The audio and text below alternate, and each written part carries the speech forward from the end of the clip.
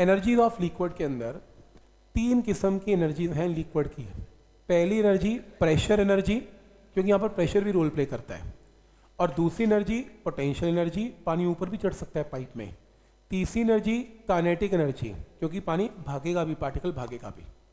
तीन energies potential kinetic तो हमें आती हैं। हमने क्या देखनी है इसमें?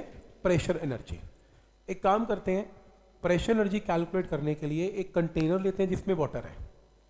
यहाँ पर एक पिस्टन लगाते हैं और इसको छोड़ देते हैं। जैसे हमने इसको छोड़ा तो क्या हुआ? पानी ने यहाँ पर प्रेशर लगाया ए एरिया ऑफ़ पिस्टन पे। तो क्या लगाई? फोर्स लगाई। ठीक फोर्स लगाई।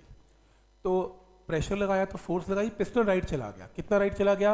एक्स तो लिक्विड ने कितना वर्क डन किया बताओ? वर्क डन क्या होता है? Force into displacement F into X force pressure की फॉर्म में किया। Pressure into area into X force क्या प्रेशर तो ये जो वर्क डन किया, ये प्रेशर ने किया, ये प्रेशर एनर्जी है।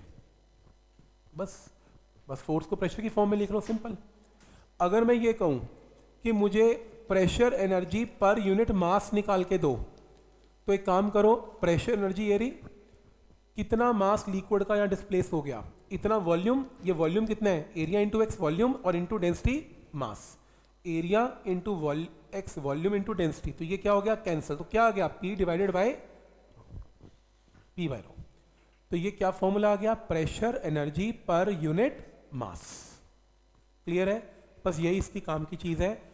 बस हो गया काम खत्म। ये रही प्रेशर एनर्जी और ये रहा pressure energy per unit mass बस इसको बॉक्स में डाल लो। और कुछ नहीं चाहिए मुझे। कि pressure energy per unit mass का फॉर्मूला पी बाय रो होता है। बस और कुछ नहीं चाहिए। इसको बॉक्स में डाल लो। Pressure energy per unit mass is P by rho pressure energy per unit mass को पी बाय रो बस। अच्छा उसी तरीके से potential energy per unit mass is g h उसी तरीके से kinetic energy per unit mass is V square by two बस दैट्स इट होगी एनर्जीज